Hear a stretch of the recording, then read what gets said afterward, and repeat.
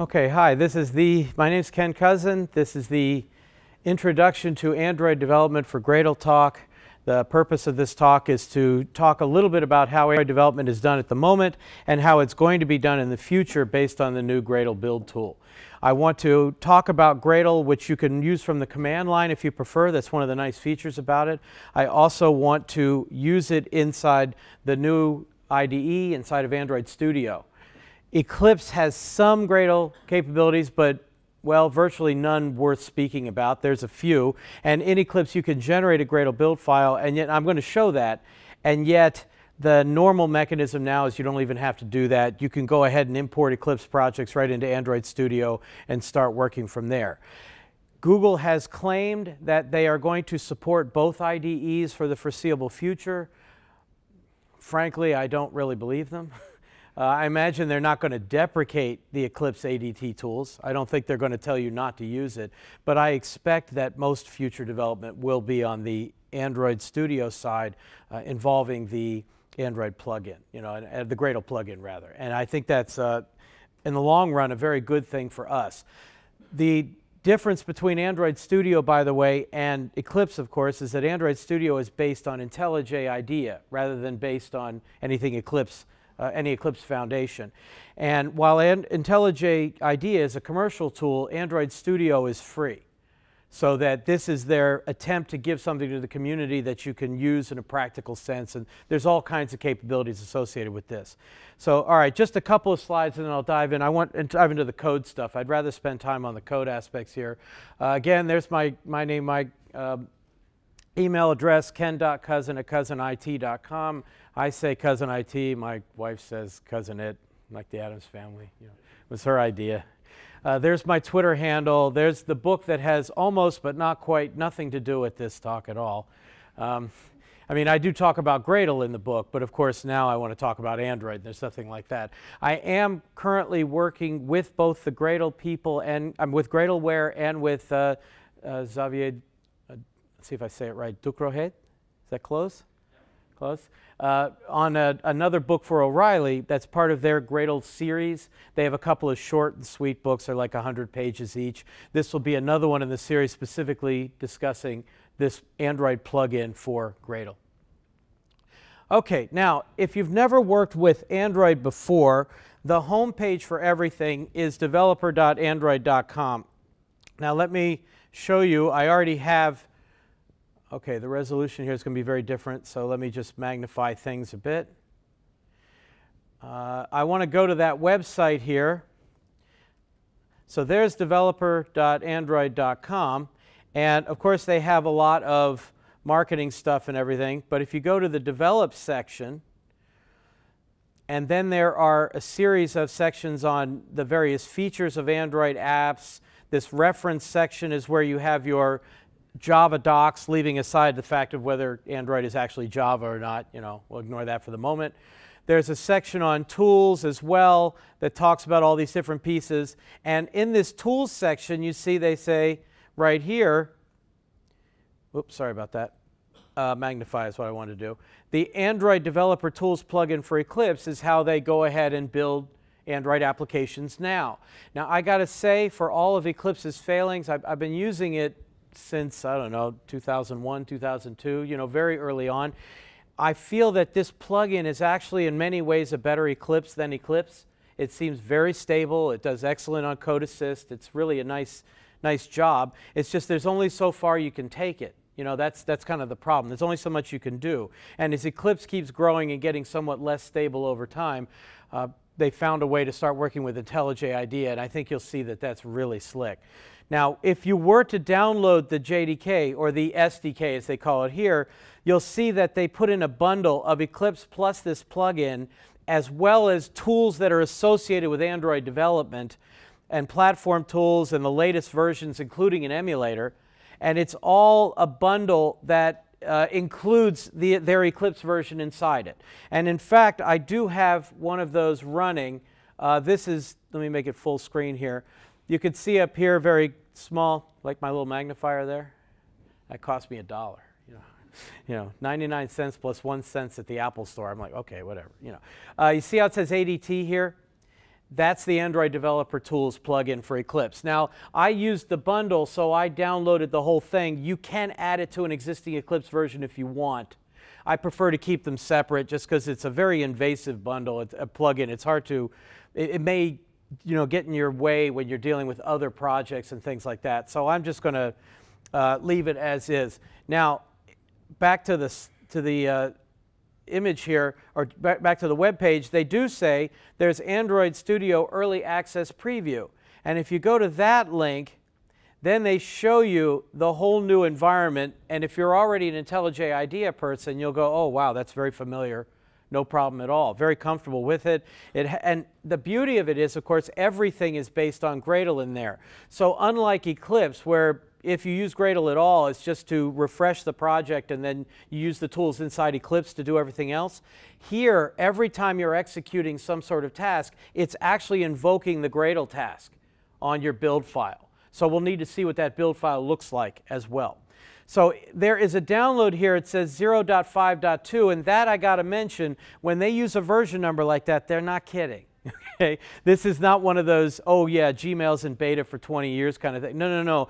This is very early access. Now, that said, it has improved by leaps and bounds over the last six months to a year. A year ago, I would have said you can download it and you can try it out, but there are a lot of missing features and there's, there's arguably a fair number of bugs. I'd say at this point, especially just, just this week, they released version 0.6 it's actually pretty stable, and I do know some clients who are using it on an active, regular basis for all of their Android development. So they've done very well with it. It's a question. Yeah, I think it happened. What version did you switch over on? Rob 0.4 or something like that? Five, yeah. Somewhere in the 0.4s, it suddenly got to the point where it crossed the threshold of, no, no, this is really helping me rather than being a problem. And 0.6, the biggest thing they just changed is to make it much more compatible with the Gradle daemon. So if you're using Gradle and you have your daemon property set correctly in your root uh, like that. Now Gradle is taking advantage of that daemon and that helps the performance, or rather Android Studio is taking advantage of that Gradle daemon and that helps performance enormously. You know, that's made a big, big difference on this. So even if you downloaded 0.5.2, be sure to upgrade to the 0.6 version. Yes, sir.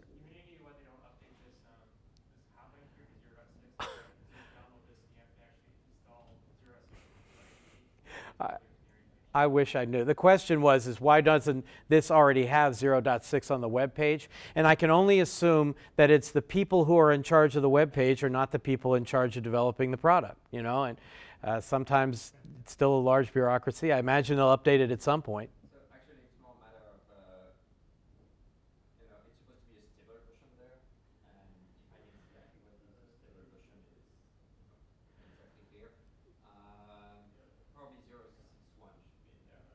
Okay, so for the video.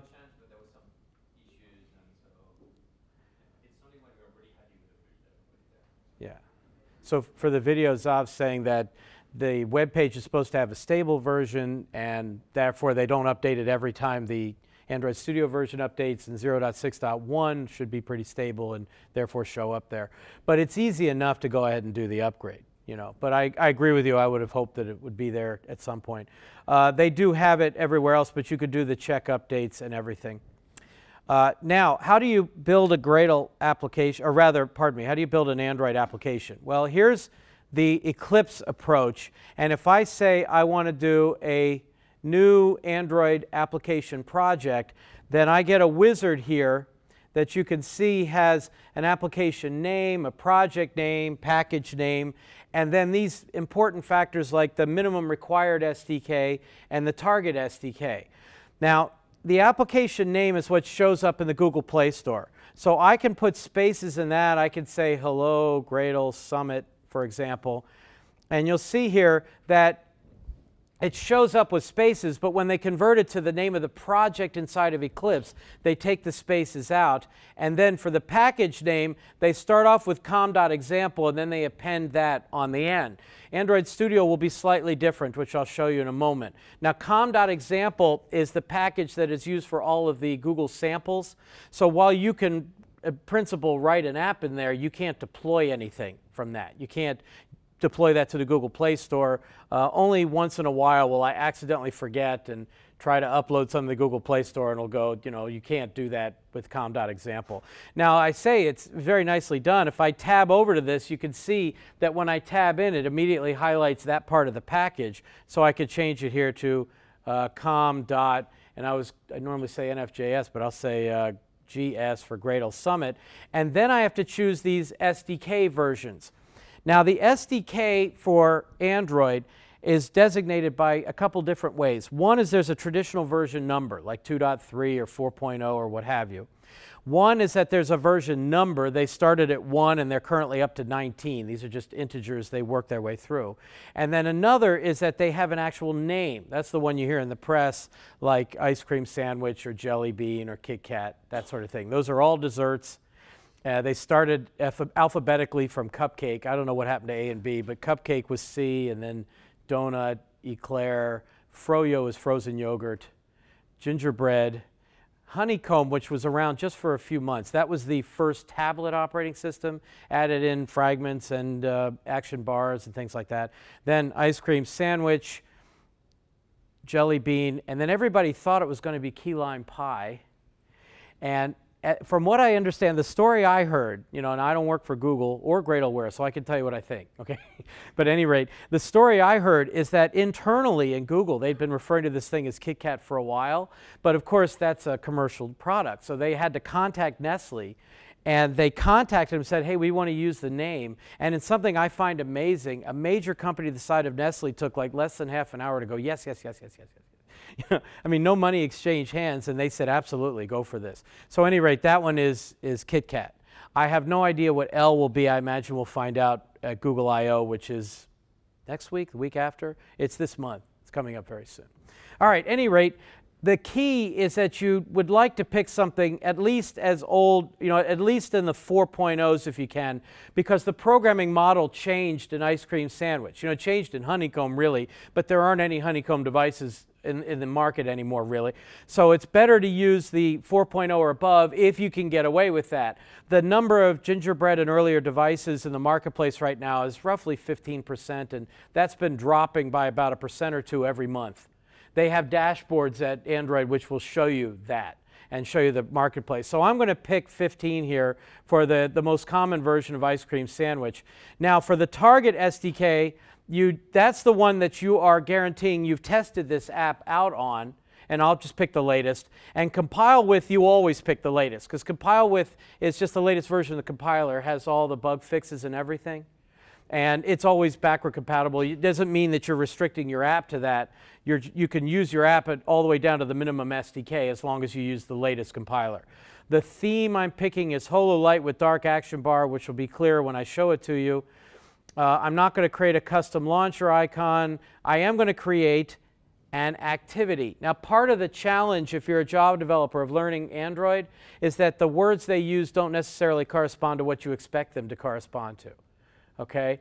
You, if you've ever done a GUI toolkit implementation. If you've ever worked with GUI toolkits like Swing or even HTML, something like that, you know we have layout managers and then we have components and we lay them out and we trigger events and all of that. Well, here the term activity means a single screen on an Android application. And if you have multiple screens, you'll have multiple activities. And the one activity will be the so-called launcher activity, the one that gets triggered when you fire up the app on your device. Now, not every app needs an activity. Perhaps you've some, you know, if you've installed like a weather widget, just dragged it onto your screen, that doesn't require a launcher activity. It does have an activity, but not a launcher. I'm going to put in the traditional activity, the standard here. Uh, this puts it in the workspace, and when I click Next here, I have a choice of a blank activity an empty activity, full screen, and a master detail flow, and they're showing all these different possibilities. Since I'm not going to stay in Eclipse longer than just showing you what the layout is, uh, I'll stick with the empty activity, the minimum possible one. And by the way, there's the theme, holo light with dark action bar. The action bar is the thing along the top that you can use for a menuing system. So when I click Next here, then you see that they give the name, the activity a name, and it defaulted to main, but you could put in whatever you want. And then it says layout name, and Android uses XML for the layouts. Now that's the static layout that you start with. You can dynamically change it. You can write code, modify the layout any way you like. And you can use fragments where you swap in and out different layouts. But you have to start with something so that it knows what to render when you first access that screen. They use a reverse underscore mechanism. So if I'd made this like my main activity, you see how it throws that in with underscores and all uh, lowercase. So if I'm going to use that, I just hit finish. And let me, because of the, the screen size here, let me change my font and I'll make it, you know, uh, as big as I can manage here. So how about uh, that size? That readable? Okay, so what you see is over here I have a couple of things. First of all, there's the project. Here's a source folder, and inside the source folder is my package, and inside the package is my main activity, which I have over here. It extends a class called activity and has a series of callback methods in it. Since I picked an empty activity, there's only one on create. But there is on stop, on start, on pause, on resume. There's a whole series of these life cycle methods that you can take advantage of for your application. So that when someone hits the back button, it triggers on stop and you can go ahead and do something. And when they go back to it, it goes through on create again, or rather on resume, and then you could reacquire whatever resources you need. That sort of thing. Now, in addition to that, here's the XML. Now, they have it in a graphical layout if I want to see it, where they're showing the picture as well as a hello world string, this tiny little string in here. But if I look at it in XML view, you can see this is a relative layout with a text view. There's another term that doesn't fit what our mental model is. They should have called it label. I mean, that's what they call it in HTML, and in Swing we call it JLabel. Here it's called a text view. It's an unmodifiable label, if you will, although you can modify it programmatically, but it's not something the user can edit. Every component, and I call them components sometimes, the true term is widget. Every widget in Android you has a layout width and a layout height, and they're restricted to either wrap the content they're in or match whatever the parent size is as well. And then here we see one of the layers of indirection. When I say what text is on this, it says at string hello world, and this is using a string resource. See the res folder here? So under res, there's a series of drawable folders. There's the layout folder with this XML. Here's several folders with the word values in it. If I open this up, you'll see here's values strings.xml. Let me go to the text view. And there's your hello world inside here. So again, it's just a layer of indirection.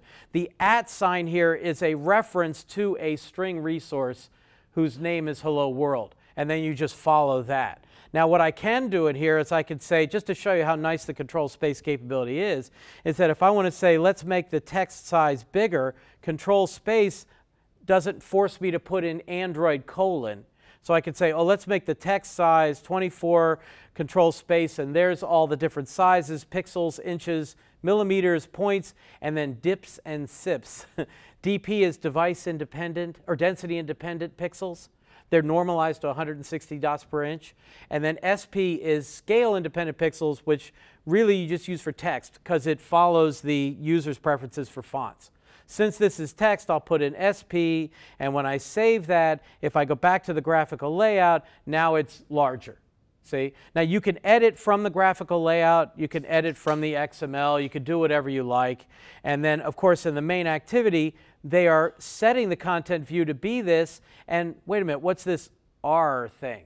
Okay.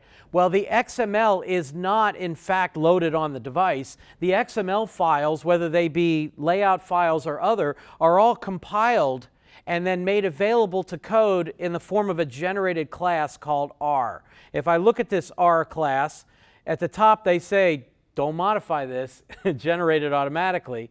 You see this is a public final class with a bunch of public final classes in it, and one of them is this string. That's from that string collection there. And then each of those names, app name and hello world, assigned some, is assigned some hex value. So again, layer after layer of indirection. That's why we keep the apps really simple so that we can focus on the technology part that we want. Okay, so there's the loading of that activity main layout. And as you saw, if I ran this, it would display hello world. Now, in order to run it, I have to do a couple things here. First of all, I didn't show you the actual SDK manager. Now, there's a button in here to do it, but let me show you. I don't really need the button. Uh, let's see. I'm going to make this font much bigger here. Clear. If I just say Android after downloading the toolkit, I've set a Android home variable and put the bin folder in my path. Frankly, I'm on a Mac, so I used a homebrew install of the Android SDK, uh, but you could do it either way. You see that there's a section of tools here for the SDK tools, the platform tools, and then build tools for each major version or each going all the way back. Then there are dedicated sections to individual Android versions like uh, 19, 18, 17. Each one has like documentation and samples and various other pieces. Apparently the, Google, the Glass development kit is ready to update. I don't, I think maybe I'll skip that in this presentation, you know.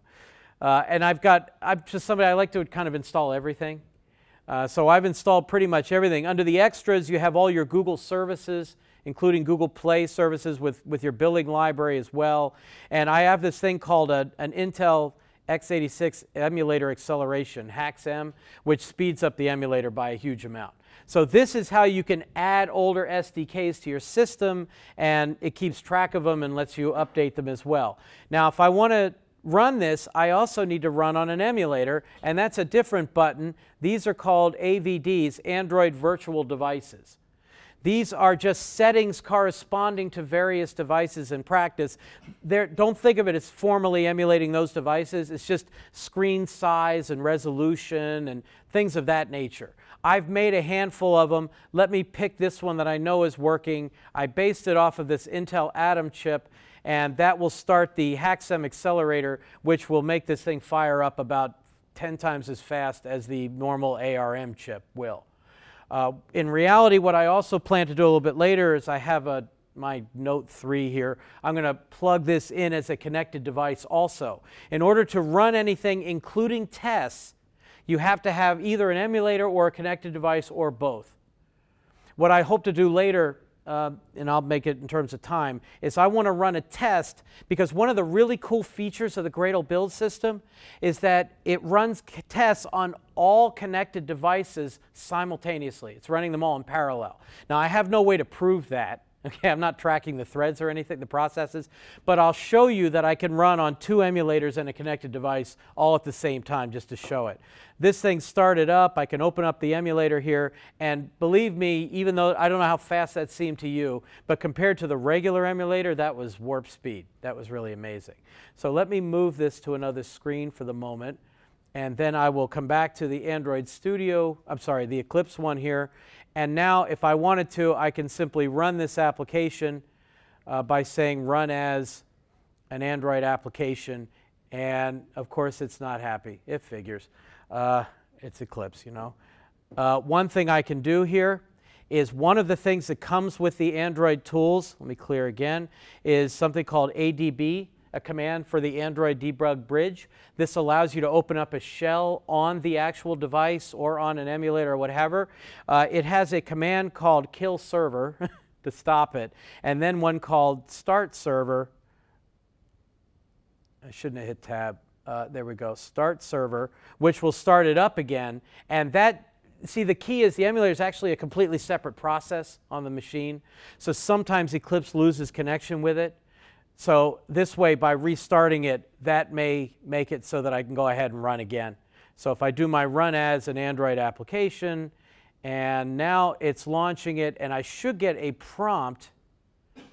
I don't know, I may not have it set that way. Oh, I didn't have it set that way. Normally it will prompt me to say which device you want to run under. And since I only had one running and my default must have been set to just go ahead and use it. And there you see, I made an Android application and deployed it. Very exciting, right? Okay. Now, the thing that, to keep in mind about this before I move over to Android Studio is the project layout here. Is that you see, boy, if you could see, um, I don't have time to change the resolution on my screen any, so I'll just magnify again, is that you have a source folder, but you don't have your traditional Maven structure, your source main Java, that sort of thing. That's not there. Plus, under these resource this resource folder, there's a whole series of other folders that have particular names and, and uh, modifications as well. So there's a standard project layout that has been established from the beginning of the Android development process. And of course, that's not what normal Java development projects are, tip, are accustomed to working with. And Android Studio and Gradle, of course, prefers the standard Maven layout, so some accommodations have to be made. Okay. Now, the last thing I'll do before I leave this is if I right click on the project and I go to the export here, under export, under Android, there are two elements here. One is export an Android application. This is what you use if you want to build the so-called APK the export, the, the actual application itself that you plan to load in the Google Play Store or give to another user to install. If you want to export the APK, then you trigger another wizard that says, oh, where's your key signer and where's your, what password for the, for the key tool and everything. You know, so that would trigger the signing of the jar file. Uh, I call it a jar file, but the term in, in Android is an APK, and that's what you upload to Google Play when somebody is using a device. And I mean, let me let me rephrase. Say you're doing something internal to the company, and you didn't want to deploy everything to Google Play and have everybody go get it there. The easiest way to deploy it to all your coworkers is to put the APK link on a web page internally and have somebody browse to it with their device. Because when they click on it, that MIME type triggers Google's installer, the Android installer, which will install, install the app and then you could go use it immediately like that. Well, any rate, that export wizard will trigger that. The other one, notice, is that there's generate Gradle build file. So this is not, this is no longer the, the top recommended way to do this, but it knows enough about Gradle that if I select generate Gradle build file and I say next, it says, wait a minute, import instead? Consider importing directly into Android Studio instead of exporting from Eclipse, and which is what you should do now. Android Studio, they're constantly revving and bringing up to date. Now, I'm using what they call the canary builds. You know, they are coming out roughly once every week or maybe every two weeks. Uh, but that one I know is up to date, whereas the Eclipse ADT doesn't get changed very often at all. Nevertheless, I'll click Next here, and I pick my project as Hello Gradle Summit, or hello, yeah, and I say next, and I just say finish, and uh, export successful, choose import project in Android Studio, and browse to the build file, not to the project anymore. Browse to the Gradle build. Now, if you're an IntelliJ person, you're used to doing this. You know, you always browse to the Gradle build file and IntelliJ takes care of everything else. Although if you're using an, er, uh, an, earlier version of IntelliJ, it wasn't as common, but the current one, yeah, we do that all the time. any rate, I wanted to show you that because here's the actual build file now. And this will be the beginning of our discussion for real. Although I'm not going to use this, I want to show you this is actually already a little bit dated. And I'll show you the better one inside of Android Studio. So if you're familiar with Gradle, of course, you've recognized this tag, the build script tag. Build script is basically a way of saying, hey, the plugin I want is not part of the standard Gradle distribution. I can't just say apply plugin Android because the Android plugin is not built into standard Gradle's distribution. Therefore, what we're going to do is we're going to use the build script to download the plugin as well. So this build script section has a repository section that says go find the plugin at Maven Central, and then the dependencies section shows the actual characteristics of the plugin. So if you're a Maven person and you're not a Gradle person, I don't, you know, then welcome, first of all, you know, glad to see you. But secondly, uh, this is three sections separated by colons. The first one's the group ID. The second one, the Maven people would call an artifact ID. Here we just call it a name. And then there's your version number, and they actually used a plus in it. So this section here is purely for the plugin itself downloads the plugin. If you have additional dependencies for your project, this is not where to add them. Down below will be where to add them. Then I see once they've done that, now I can apply the Gradle plugin here. And then we get stuff that is all based on Android. And I'll talk about this stuff in the other one. What I want to show you is this section here. Now, if you're a Gradle person, you're familiar with the term source sets. These are your source folders, if you will, your, your set of source folders. And this is saying source main Java, if you will, is using the source directory src. So if you follow that, you can imagine all the rest of these are there to map the normal Eclipse project structure, the regular default Android structure, to the new project structure that they're trying to adopt. So the whole purpose of the source sets here is to go ahead and build, uh, tell Gradle how to map to what it's expecting from the existing structure. Also, you see down here it says instrument test.set root to tests. The implication here is that there would be another source folder called tests and that that would be where our instrument tests go. An instrument test is a GUI driven test where we could say find a button and click on it and check to see that something shows up, etc. This is already out of date, as I say. When we go over to the Android Studio one, you'll see that they've already renamed the term instrument test to Android tests as of 0.10, I believe it was. Everything changed there. Uh, then they have a few other things as well. As I say, I don't want to go into this here. I just wanted to introduce it. Now let me switch to Android Studio and show you what, the, what it looks like over there. Okay? All right. So actually, here's a, an open window over. Ah, here, right. I already have it open up. Let me say in Android Studio, I want to make a new project. Again, things look pretty much the same, just the, the layout's a little different, except that Android Studio expects to make everything a multi-project build from Gradle. That's one of the first major differences. In Eclipse, it was all a single project, and here was another thing I didn't show, but in Eclipse, if I wanted to test this thing, I'd have to make a separate project called an Android test project, which would then point to my Android project with all the, the Android distribution, all the code in it, see?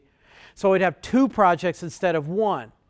In the new project layout, the one inside of Gradle, there is a source Android test Java.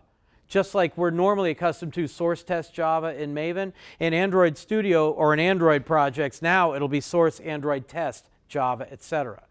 So they're already expecting to have sub-projects inside the main project. Well, they start us off that way by saying we're going to have an application name, whatever we want to call it, which again, I'll call it uh, Hello Gradle Summit. How about AS on the end, just to distinguish it from the other one for Android Studio.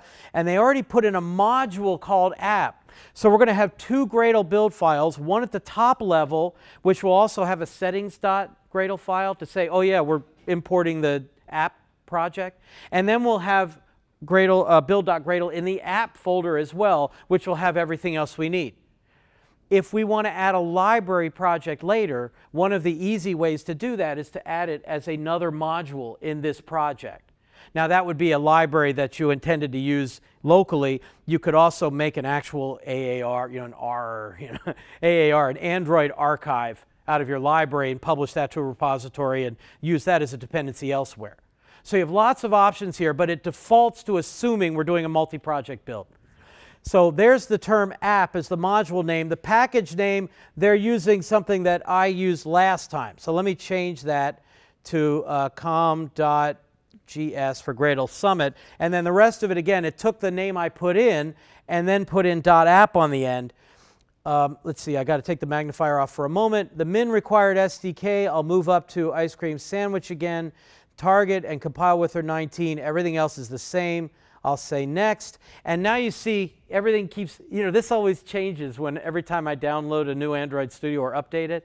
You know, what, the, what it looks like here, now we've got graphical images to show what they're making. So there's a blank activity, there's a blank activity with a fragment in it. See, a fragment's a portion of an activity, and you could swap them in and out using something called a fragment transaction on a fragment manager.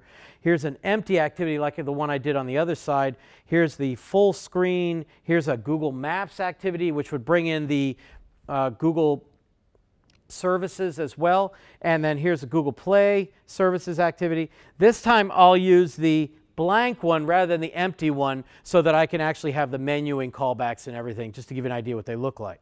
So I'll select that and say next. And now again, they say, oh, let's default the activity name to main activity and the default layout to activity underscore main. And I'll say finish. And let me make this full screen as well. And if you are an IntelliJ person, this all looks quite familiar. There's the project, Hello Gradle Summit AS. There's the app folder underneath it. There's my source folder inside with main Java. Inside of main Java is my package and my activity. There's also the res folder. So already, remember the resource folder in the other one was at top level, and now it's under the source folder. So they have redone the layout. Uh, there's drawables, and here's, here's the layout folder with my activity main, and more and more. And below that, you'll see I have this external, there's settings.gradle. Now let me see if I can modify the font on this. And what I'll do is I will switch to, uh, oh, wait a minute, got the wrong one. Uh, let's do this font. And here is my uh, font size, and I want to change it to 24 at least. There, readable? Good enough, anyway. okay.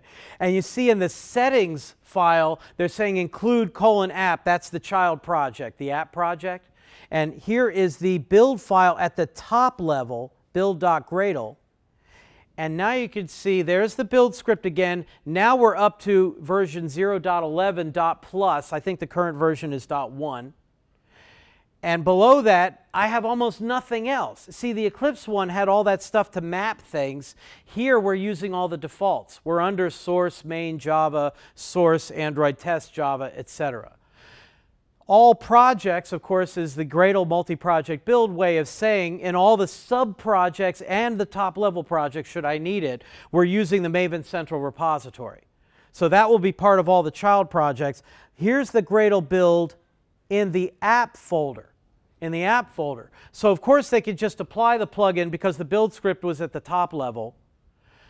There are the values of compile SDK version and build tools version. Now, what I, one of the things I didn't show you on the other one was that in every Android application, there's an XML file called the Android manifest. The manifest lists permissions that you need. It, it puts in the default package, which is used by the Google Play Store to know when things are unique. It lists the minimum and compile SDK versions, etc. So one of the things that has changed is instead of living off of this XML file, which has all the activities and everything in it, now a lot of that information is set in the Gradle build. And in fact, if you use both, if you have the XML and the Gradle build, the Gradle build wins, okay, that one's ahead of it, but it's best not to use both if you can avoid it, you know, because it's that means if the Gradle build wins, then the XML files is deceiving you, it's confusing. So when you import a project from Eclipse, of course, it's going to generate things in the Gradle build and it's going to have the XML and it'll warn you right away, hey, wait a minute, you might not want to have those settings in the Android manifest because it may confuse things. If you plan to only edit the project with Android Studio or use Gradle at the command line, then that's a good idea. If you ever plan to go back to Eclipse, you may not want to be quite so eager to get rid of the duplication okay? So it's a little bit awkward to deal with both at the same time. If you have some members of your team that are on Android Studio and some on Eclipse, that can lead to some confusion at some point. Okay, what else is in here? Compile SDK, build tools version as well. And by the way, some of these properties can be extracted and put in properties files. Some of them can be assigned on the command line. You have a whole range of choices because now you're in Groovy. You know, now you're not trying to code in XML so you can actually use the, those extra features. The default config, now this is another change that just happened within the last month, is that up until then it was all called uh, package name. Everything was a package name, and that's what was based on in the Google Play Store and everything. Now they're calling it application ID. If I imported a project from Eclipse, it would do the conversion for me, but this is what the result would look like. And there's that, see, that is the package name that I declared in the wizard. We also have min SDK, target SDK. Now, version and version name, version code and version name, again, those are freed for you to, mod to uh, modify. Those are not used for anything except your own internal measurements. That's for your own purposes to say this is version 1, 2, 3, 4, 5, and a version name 2.1, 2.3, 0.5, whatever you like to put in there. That's up to you. Now, then we get a very important section, which I'll talk more about later, called build types. One of the difficulties in the Eclipse system is that if you wanted to make a debug build as opposed to a release build, there's no way to easily change it in the Eclipse project structure. And if there is, you can only do one at a time. You can't say, oh, sometimes I want to do one and sometimes I want to do the other, and hey, build both APKs when you need it. Each build type will correspond to an APK. There are two default build types, and this is in the slides, by the way. Two default build types, one called debug and one called release.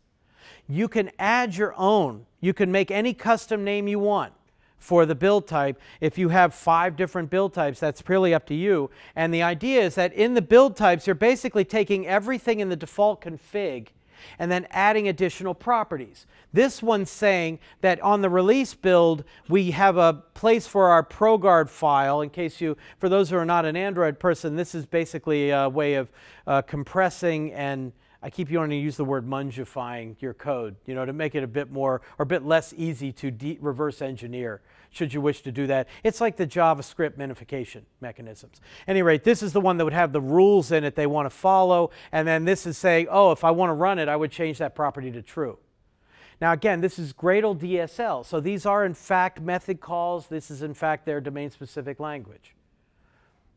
I guess I should do the DSL jokes real quick, right? Uh, Java is a DSL for generating stack traces. Uh, JavaScript is a DSL for detecting browser bugs. And, and uh, Maven is a DSL for downloading the internet. Yeah. Now, of course, we know Gradle, we download the internet too, but still, it's a better joke for them. any rate, there are the properties inside here, and this is part of the DSL.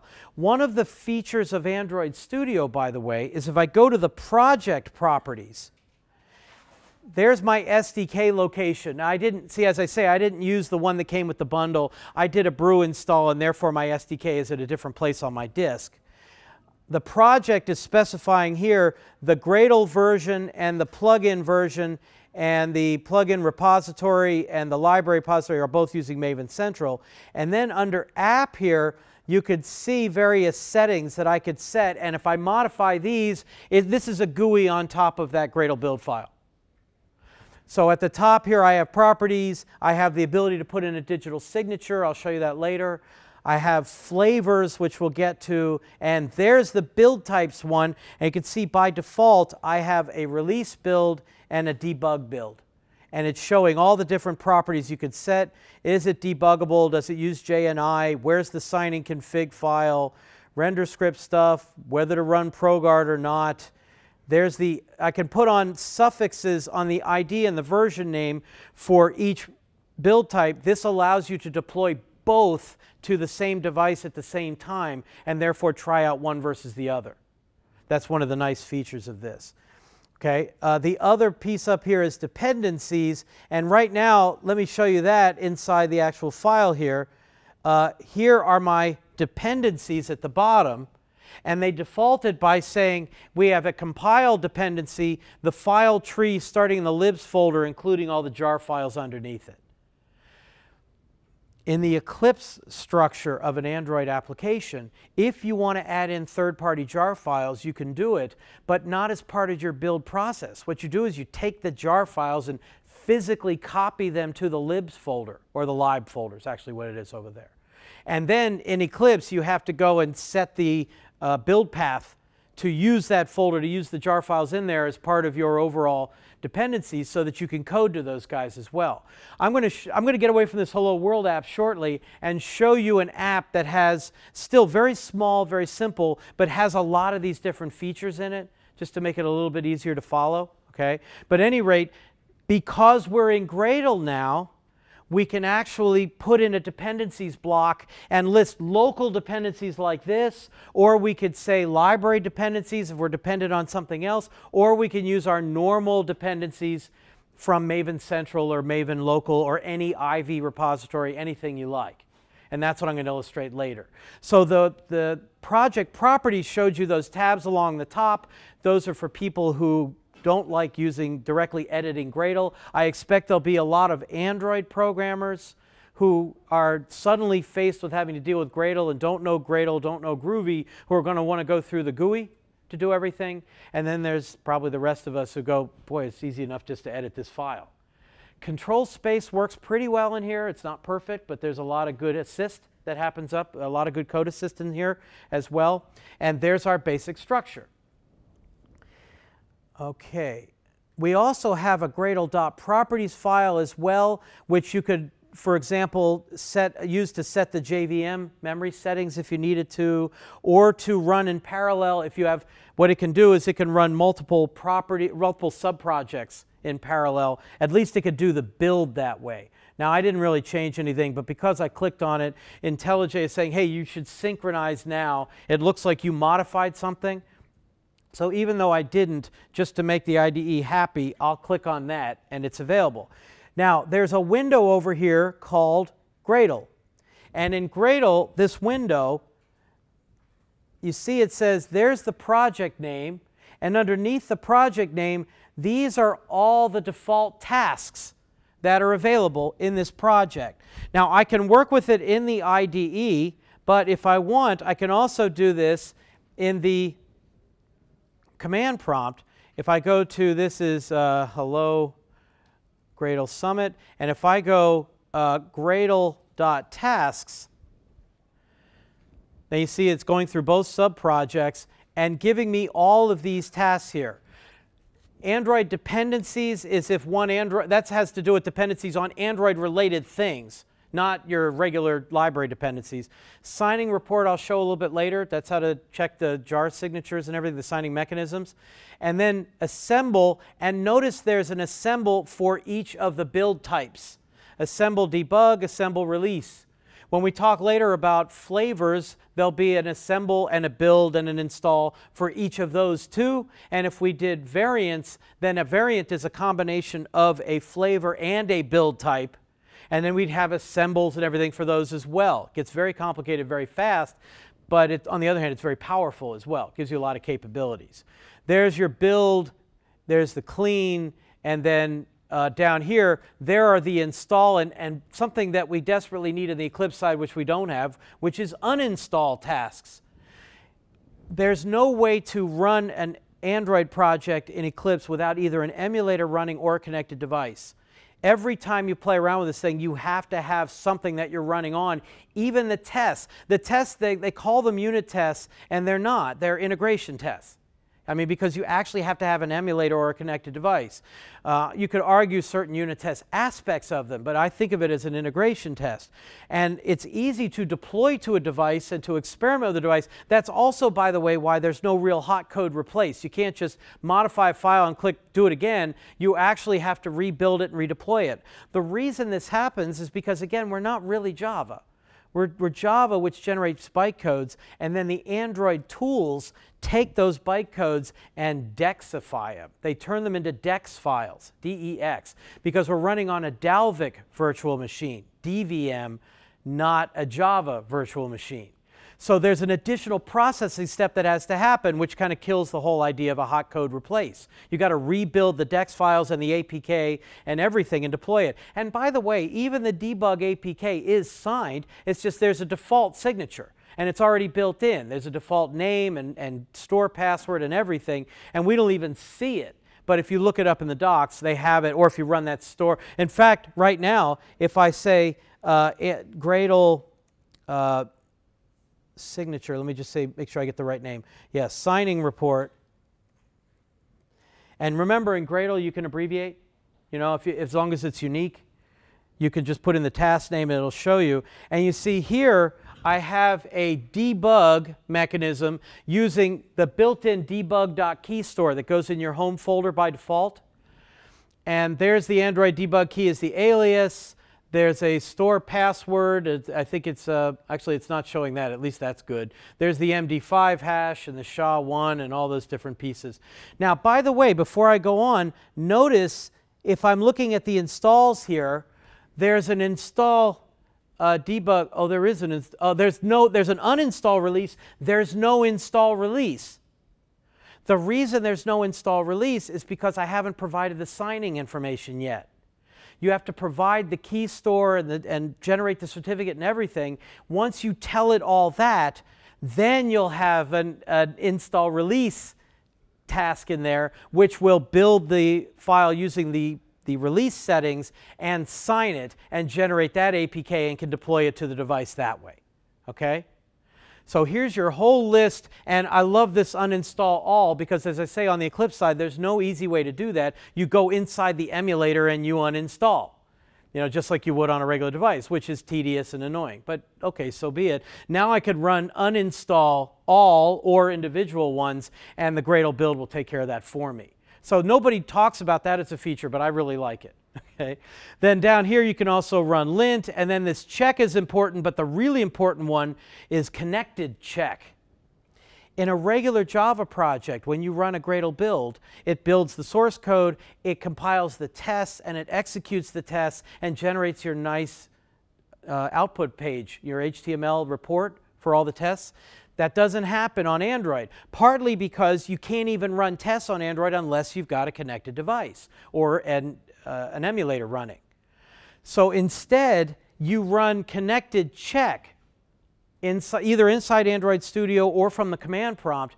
And that's what will say, okay, now as part of the overall acyclic graph, you know, we'll run the test the, the connected check will run the test tasks on all the connected devices at the same time. Now the device check here is the one that's supposed to be used for continuous integration servers, so at least we have some approach to that as well. I'm just going to show you the connected check. And then Android Lint, by the way, this is another very nice feature of the Android SDK. Android Lint gives you excellent information about your code quality and even picks up an awful lot of Java issues in addition to basic Android issues as well. I've been very impressed with that, and that runs just fine under Eclipse as well. It's just here, the, there are the actual tasks if you decide to trigger it from Gradle. Okay? Now, with all that in mind, now let me switch up. I was just going to show you here. This is that huge list of available tasks. And this is not showing just those few that we saw. It's showing all of the under the hood tasks too. That would be showed from the command line if I put the dash dash all. If I said Gradle task dash dash all, then I'd see all of these, not just the ones they're expecting me to run from the command line. You can double click on any of these in Android Studio and run Gradle from within here as well. So either way is perfectly fine. All right, enough with the Hello World example. Let me show you the app that I want to highlight uh, here. Now, to explain this guy, I have to show you that, like most of my favorite examples, it starts with a joke. So here's a website called the Internet Chuck Norris Database, ICNDB. Chuck Norris once ordered a Big Mac at Burger King and got one, okay?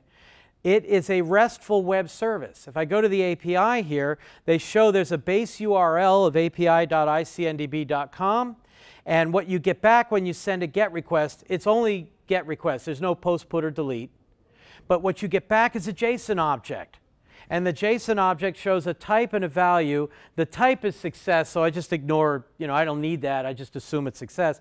The value is a nested JSON object that has an ID and then a joke. Time waits for no man unless that man is Chuck Norris, okay? Now, you can change the first name and last name, and I'm going to, I'm going to demonstrate that for my uh, different build types. I'm not going to get into the whole flavors and everything. For the flavors and the variants, I'm going to use one of the samples that comes that you can download just to illustrate it, because as I say, that gets very complicated very fast. You know, so it's better just I'll just illustrate it. But here I want to show you an app. Now I don't want to just go to the regular random ones because a lot of those aren't really suitable for public consumption. You know. Uh, so instead, I'm going to restrict it to, limit it to the nerdy jokes, which are much better, okay? So what I want to show you is an Android app that assembles this URL, does a GET request to go to this website, downloads the JSON data, and then transforms the JSON data into an object, and then you pull a value off of the object. I just want to grab the joke out of it, and updates the app itself with this. Now, if you read the Android literature, if you read the books on Android and everything, then you find out, first of all, Android has in its SDK built right in a version of Apache's HTTP client project. They also have built in an org.json package so that you can build JSON objects and serialize JSON objects. They have a JSON reader and a JSON writer. They have all this stuff. I'm not going to use any of that. I find that actually more complicated and tedious than what I want to do. What I'm going to do instead is I'm going to use a project called Spring Android. You ever hear of this? Now, when you hear the word Spring, you immediately go, they're putting a dependency injection container on a phone? Seriously? That's not what this is about. Now, Google does, by the way. Google Guice has a version to put one, a dependency injection container on a device. That's not what I'm after. Spring Android only has two components to it. One is a REST template. The REST template will perform get, post, puts, and deletes, and then take the results and populate an object with them. And the other component is the authentication module to do OAuth or OAuth 2 or any other authentication you need. I don't need that. This is a public website, perfectly open. Uh, in fact, it only supports GET requests. Some people I know refer to that, therefore, as a GET-full web service. And I suppose if it's stateless, does that make it a for GET-full web service? Yeah, I know, but there's just not many people I can use that gag on, okay? So I'm going to use Spring Android to set up the REST template to access the web service. And then you see the JSON object I'm looking at is not very complicated. I just built a Java class to map to it, just where the attributes map to the names of those properties in the JSON object and assemble it. And then I pull the value off and I update the GUI. The other somewhat interesting part of this app, which I'll show you in a moment, is that in order to access a website off off the application, you're not supposed to be on the UI thread. You have to get off the UI thread to do any significant performance, including large database queries and everything. But then to update the UI, you have to get back on the UI thread as well. Now there's many ways to do this, but Android provides a special class called an async task. And an async task has a couple of callback methods, one of which puts you automatically off of the UI thread to do the work, and then one of which, when you're done, puts you back on the UI thread so you can update this. And I'm just going to show you the whole thing, just to give you an idea what it looks like. Okay? So that's the, the bottom line. Let me build this now. So, oops, wrong one. Here's Android Studio. Let me make this full screen. And in my project, yes, I have my key promoter turned on. I keep, it's going to drive me crazy at some point. I have my main activity but usually when I'm looking at an application, an Android app that I've never looked at before, then I start off with the manifest because the manifest here, first of all, shows the permission I need. I need internet permission to go off-site and look at this. And then inside the application, in addition to setting some icons and themes and everything, it lists every single activity. Every activity you create must show up in the manifest. And the only activity I have is this main activity. The dot here means put it on the end of the package structure there. And then here is an intent filter, which is the category of launcher main. In other words, this one activity is the so-called launcher activity, the one that starts up when I double click on the icon on my phone. Okay? So whenever I'm looking at a brand new app I've never seen before, I don't just assume they called it main activity. I go look for the launcher activity inside of the manifest. Now this is telling me that the launcher activity is this main activity, and then I look in the main activity in the onCreate method and look for the layout file, activity main here. And if I look at activity main, I think I can control click on that, then here's what the thing looks like. Now, it's called the Internet Carlos Ray database for a reason. Uh, I built this app, or a much simpler version of this app, roughly a year ago, and I use it on no fluff, no just stuff presentations just to show people how to do an async task, etc. And I published it to the Google Play Store with a little Chuck Norris icon. I called it the ICNDB app. And a few months later, I received an email from Patton Boggs LLP the attorneys for Mr. Carlos Ray, quote, Chuck Norris, saying that I was impinging on his intellectual property and to remove my app. And I was like, I'm consuming data from a public website and I'm not selling anything and it's just the source code's available. What am I doing wrong? And so I ignored it. So of course about a week later Google Play disabled my app. At which point I got annoyed and I stood for usually I'm much too much of a coward to do anything about that, but this time I decided to rewrite the app as the Internet Carlos Ray database. And now it's in the Google Play Store. You're welcome to it. I have tens of users. Okay, that's been. A, I even put Patton Boggs LLP on the icon, you know, and I haven't heard anything yet. So that's why it's Carlos Ray. So who, did you know that Chuck Norris's name was Carlos Ray? I had no idea. He's also worth like $70 million, according to Wikipedia. He's also 70 years old. Now, I have no doubt he could kick my ass, you know, but, but whatever, you know. This is it. Very simple app. I, I, have one activity which has a text view on it, that's the label, and then I have a button called Get Joke. And so there's my text view, and here's my button. And the button has the text on it. Now, you see, this is one of the features of both Android Studio and IntelliJ. It looks like I've hardwired a string in here, Get Joke. When in reality, if I moused over that, you see it's actually an at string resource. And, in, and the IDE is simply showing me, it's following the layer of indirection to show me what the value is. Sweet, right? Uh, there's my width and height, and there's my text size and everything, and it's all ready to go. Now, to show you how the code works, and then I can show you the Gradle build file. Again, what I need is I need that REST template. So I got some third-party libraries, and I also set it up to have two different build variants. One is the debug build, and one's the release build, so that I could change the name that I'm using as well. So here's the actual source code. First of all, this is the simple part. This is the Java class that maps to that JSON structure. I have a type and a value. Remember, value was an inner JSON object. So here's getters and setters, and then here's the inner JSON object, joke, which has an ID, a joke, and categories. I made up the data types myself, right? I mean, JSON is untyped. And the rest of this is just getters and setters. So I provided a class that maps, this, this by the way up here, this get joke is simply a convenience method so that once this object is populated, I could pull the joke string out of it without having to navigate to the inner class down below. Once I have a Java class that maps to the JSON structure, the rest is just using Spring Android. So here's my main activity. And at the top here, you see there's my URL that's the base URL. There's the limit to nerdy first name and last name. I'm using a URL template. So these are values that I can substitute in. There's the joke view itself. There's the REST template once I've instantiated. I need a reference to the async task because here's one of the things about uh, Android. If you rotate the phone, you destroy the activity. as part of the life cycle, it destroys the activity and recreates it because you can have different layouts for different aspect orientations. For portrait versus landscape, no problem. So it actually destroys it. Well, if I fire off an activity, or fire off, it rather, an async task that's planning to update this tree, and I rotate the phone and change the tree, then it just dies. I mean, it, it doesn't stop. It actually goes, it comes back, it has nothing to update, and, and, the user doesn't see anything. The user sees nothing, but we see a nice little stack trace or an output or whatever in the logger. Well, what they recommend, therefore, is if I keep this async task as an attribute, then inside my onStop method, I can kill it.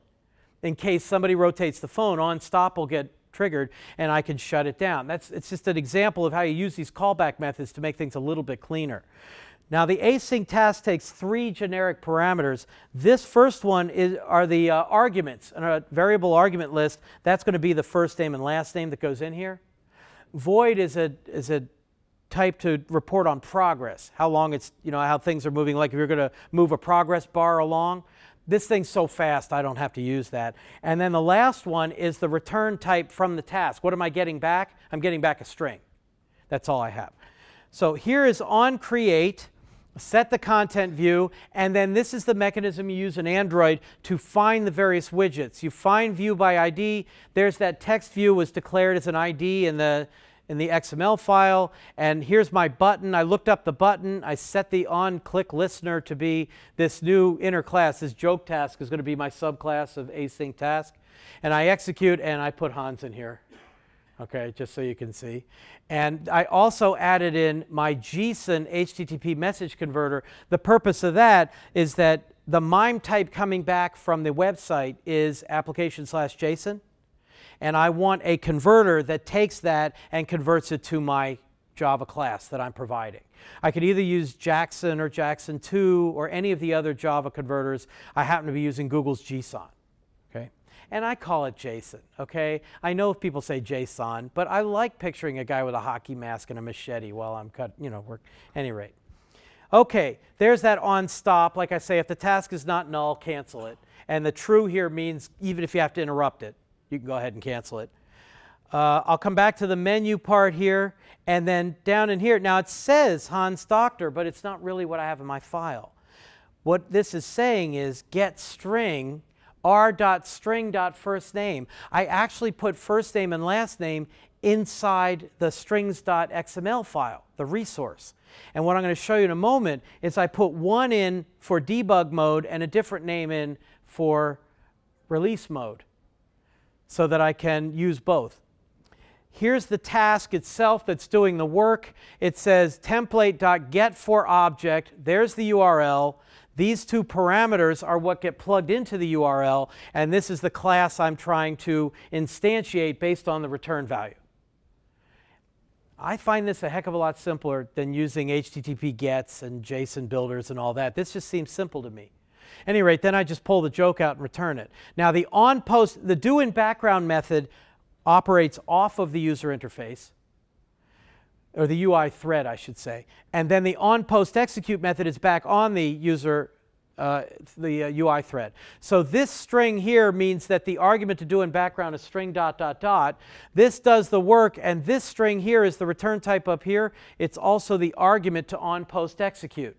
So in on post execute, it says go find that joke view and set the text to that. See, I'm back on the user interface thread. So it's still a pretty simple app, but it's got some interesting features to it. But here's the good part. Let me show you the Gradle build. Uh, actually, though, to prove a point, let me run it first. And what I'll do is that I will run it with the debug version, which means I'll just click on it. And I believe this will prompt me to say, there's your running emulator. If I had other emulators going too, that would be fine. If I plugged in a connected device, that would show up as well. And I'm going to say, yes, go ahead and use that emulator. And here is the emulator coming up. And if I click on Get Joke, oh, that's right. For the debug mode, I switched to Xav, who's not looking up. Won't he be surprised? Of course, anybody could read from an input stream. There you go. Is that better? Okay. Or here. Uh, that, that's not too bad. Let's see.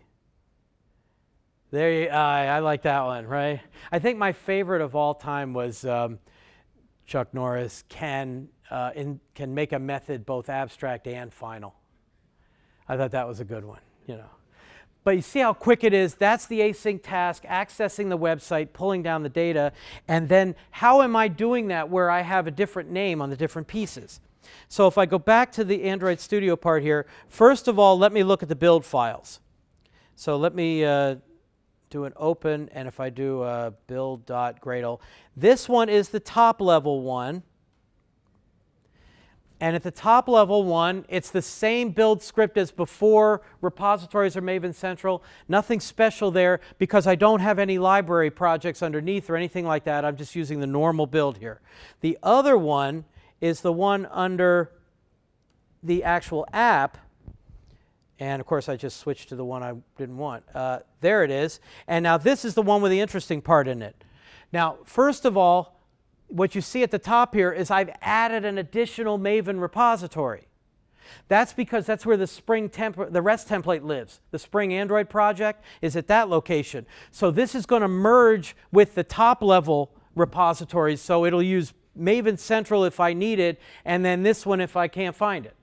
Okay? And you could add in as many as you want. You can use flat file directories. You can use Ivy repositories. You can Maven local, Maven Central, everything. These are defaults, compile SDK, build tools version. Now, in, when I did this before, some of the files that I'm going to bring in, some of the libraries, pardon me, that I'm bringing in for the uh, Spring Android project have notices in them and licenses in them. And in fact, both of them have notices and both have licenses, and they would conflict, and that would cause problems with my build. So here I have the option when packaging to exclude them. Took them right out.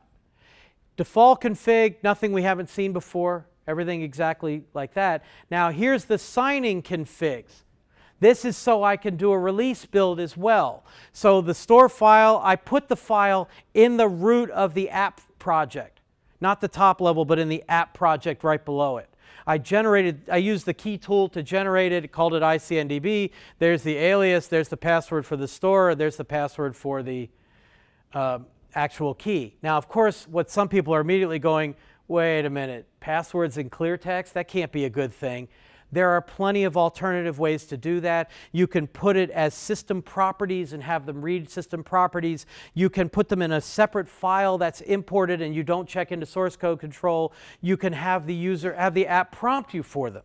You can even have it prompt the user to plug in the, not the user user, but in, in the uh, developer, have the prompt the developer for them. So there's lots of alternatives. I'm just keeping it simple here. And besides, that's part of the joke, right? You know the, the jokes don't get that good. I mean, they're all right, you know, so enjoy them while you got them.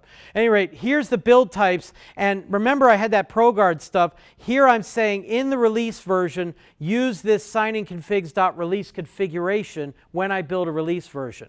The debug version, I'm not doing a signing. I'm, I'm just going with the default debug one. And you can see here, though, you could specify an app application ID suffix and a version name suffix. Again, the purpose of that is so I can deploy both apps on the same device if I wanted to. I, I, don't have any product flavors actually, but that would come later. Here are the dependencies. There's the one that came in at first. Here's the Spring REST template. Here's the uh, Spring Android Core, which this requires. There's Google Gson. And then also, uh, I may not get a chance to show it to you, but I put in some testing as well. And I'm using uh, Robotium for that. Anybody use that before? Makes yeah makes testing of a GUI so much simpler because you could just find a button and click on it and check for fields and everything. Very very nice mechanism there. Uh, so that's all in there. So now the only other thing I did is that if you take a look at the project structure here, you will see that in addition to my normal source main Java with the res folder underneath it, I also have a source debug with the res folder values and strings.xml. And see, this is the one with Xav in it. Whereas the one under main, the one under main is the one with Hans in it. So that whichever one I deploy, the debug one or the, or the release one, that's the one that will use the, it'll use the values in the corresponding file. Okay? Now, since time is getting short, let me go back to the slides and show you how much of this we've covered and then give you some guides to a few more things as well. So uh, actually, let's go that way. So all right, there's the developer page. There's the Eclipse stuff with the, with the download. Uh, Eclipse does not support Gradle in any active way, as I mentioned, but you can generate a build file, although, again, they don't even recommend it anymore. It's better just to import the Eclipse project. Uh, of course, you always have to start off with why Gradle, at which point I said, duh, you know. I mean, this is a Gradle conference. You, you know why, you know. Uh, it's got all these nice capabilities. I'm not going to take time for that. Uh, there's the Android Studio link, should you choose to grab it based on IntelliJ, uses Gradle, and they say it's early beta, beware of bugs and unsupported features, but I am far less worried about that than I was even three months ago. I mean, in the last six months, this thing, the, the stability and the quality have improved by leaps and bounds. If you are starting with it now, I think you will be fine. Now, there will be breaking changes. We're pre 1.0. But so far, everything's been pretty easy to accommodate. So uh, there's the latest version I put is 0.6. It's very easy. Oh, by the way, one of the things that, that 0.6 helps you with, if you run the Gradle daemon, 0.6 takes advantage of that. So when I run Gradle builds over and over again, I get all that performance improvement. Very nice here. Uh, there's creating the app by setting the package name And there's the min and target SDKs. Oh, sorry. There's the manifest with data, which now we move into the other Gradle build files. In many cases, doesn't eliminate the manifest entirely, although it does pretty much eliminate the manifest in the test project. See, in Eclipse, you had to have a manifest over there too. In Android Studio, it's generated for you based on the existing manifest and whatever else you put under the Android test configuration. So it becomes much simpler again. Um, now these things are set in build.gradle, overrides the XML. Manifest has all this stuff in it, intent filters and services, etc. Activities are, this, are individual screens. There's the layout files in XML. The callback methods to respond, like I was using on stop to shut down my task. Uh, if you have an app that's playing music in the background, it's very nice to your users. If on pause, you stop playing the music, you know, then you could resume it and on resume if you like, that sort of thing. Uh, res is the resource folder with all these different resource types. This is the list of different resource types that you can modify, and this is how people make separate layouts for landscape versus portrait, or for different version numbers or different screen resolutions. Like uh, SW720p or 720 DPI is a um, that's a 7-inch tablet or a 10-inch tablet. Uh, 600 is the 7-inch tablet. 720 is the 10-inch tablet. The SW is shortest width. That sort of thing. There's keys and values, your layer of indirection here, and it's compiled into r.java. And now the Android plugin for Gradle uses that build script, and then you could apply the plugin. There are a few related plugins as well, like there's an Android report plugin, there's an Android library plugin as well if you're making a library project. Same build script though, just selecting which one you're using. Put in your version code and name, or you could even put it in Gradle.properties. It all comes in there. Again, it assumes it's a multi-project build. Your settings.gradle will list which subprojects you are dependent on. Uh, you get your debug and release types. Whoops, wow, I don't know why that jumped like that. Okay, there's, your, there's the configuration sections in the build file where you can customize the debug and release section here. You can add your own custom builds as well. Then we have for each of those types, you get a separate source tree. So you can think of it as a source set in Gradle. Okay? So we have a main one and a debug one and a release one. Every additional one you create gives you another source tree. There's also an Android test one for testing you can, the XML files, I had a separate XML file under two of them, and it chose the right one. If there's a conflict, it uses the one you're on. If there's a Java class in conflict, though, that's, a, that's an error. Instead, it's better to use flavors for that. Flavors make different applications, whole separate APK. Whereas build types are just, like they say, build or release, something where one's going to replace the other. You can't assemble a release until you sign it. You use the key tool. Here I ran the, the command to generate it and put in all this information and it built the key for me. So in case you wanted a sample, like I say, all this should be on the website now. Here's what the result looked like inside of the Gradle build file. Uh, the passwords could be elsewhere. See the docs, they have lots of suggestions for this. Then I added my signing config to say use that. The signing report task shows all that. Then you can invoke assemble release. Well, here's what I was about to show you actually. Let me quickly flip to this. Inside Android Studio, I did it again, didn't I? Here's Android Studio. Here's the Gradle build over here. And what I'm going to do is I've set up, there's the install release task. Instead, I'll do the, actually, I did the install debug task when I just ran it. This time I'll do the install release task, and you'll see this is running the Gradle stuff here. And if I go back to my system here, uh-oh, I don't think it did it. Oh, what that did is it installed it. It didn't execute it, okay? It just put it on the device. So what I can do here is go back, and if I go, actually let me go home here, and then go to the apps, and the app should be, well, it's one of these, and I don't know which one because, again, they have the same name, so I'll just find out the hard way. Yeah, see, there's the one with Hans, see? That's not a funny one. Let's, I want a funny one. Uh, that's okay. Okay, that's not bad, you know. Uh, can instantiate an interface, that's another good one, you know.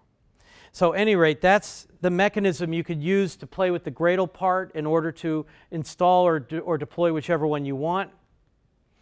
Now, for testing, again, since we don't have time, I'm not going to show it to you, but I will tell you what I have. What you do is that this is the default name for the source tree for tests. So it's a source set again, Android test, and .java, and then you build your tests however you like, and you use uh, compile Android test is where the dependencies go. And again, as I had it here in my Gradle build file, I think I wrote it wrong on the slide. It's Android test compile. There's the jar file needed only for testing and not for anything else. And then you run it by running connected check. And I could, you know, as a matter of fact, while we're talking, just I could fire that up uh, I only have one emulator on at the moment, so it won't be quite as dramatic. But if I go to, um, uh, let's see, back to uh, ICNDB, and I go Gradle connected check, then it's going to run through all the phases and hit the, keep going,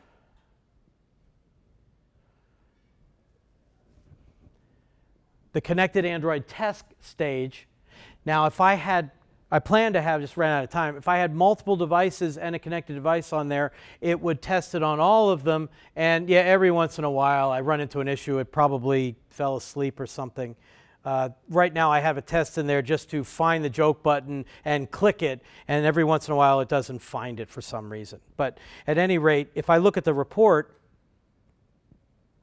there's the report and it's got a failed test and everything. But I've done this before, and it ran just fine with, uh, with multiple versions of this, okay?